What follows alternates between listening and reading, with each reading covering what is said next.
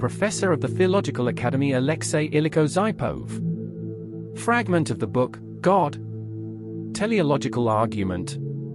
Its essence is as follows the beauty and amazing expediency of the structure of the material world, living organisms, and finally, a person with his psyche, mind, heart, conscience, and moral law cause amazement.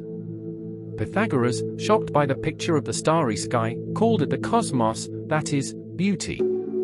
Where and how could all this have come from? What kind of great intelligence was the source of such a world? This question led many ordinary people, philosophers, and scientists to believe in God. Here are a few statements of modern scientists about this. Professor M. Ruse, arguing about the possible root cause of the world, writes The concept of such a reason brings us back, in fact, to the recognition of a higher power of one kind or another, which can well be called God.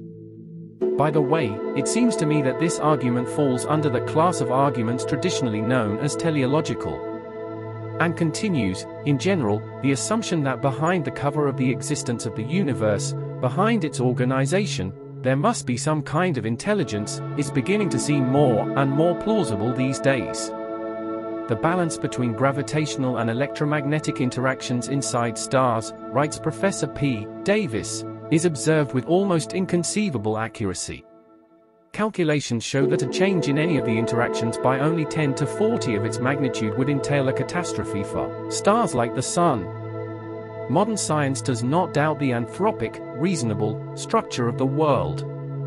The famous physicist Ralph Estling commented on this principle in absolutely everything, from the constants that determine gravitational, electromagnetic, strong and weak nuclear interactions, and up to the basic biological prerequisites, we find that the cosmos as a whole, our Sun in particular, and especially the Earth are so precisely adjusted to us that inevitably, the question arises, did not God or someone else with a similar name create all this, primarily with us in mind? It's too much of a coincidence, even a miracle, to call it pure chance. And how did life come about? Science does not know the law according to which any material structure could give rise to it.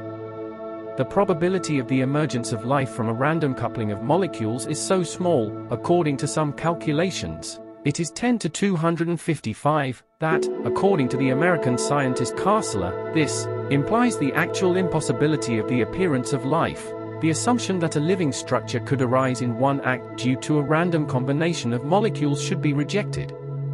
The following comparison is made the probability that a cell will arise spontaneously is at least equal to the probability that some monkey will print the full text of the Bible 400 times without a single mistake.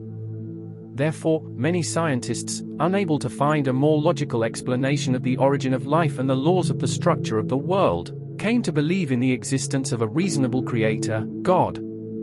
For example, our wonderful scientist N.P. Bekhtereva, academician of the Russian Academy of Sciences, director of the Institute of the Human Brain, at the Council hearings, Faith and Knowledge, Science and Technology at the turn of the century, in March 1998, said, Having devoted my whole life to studying the human brain, I come to the conclusion that it is almost impossible to understand the creation of such a miracle as the human brain, without the concept of the Creator.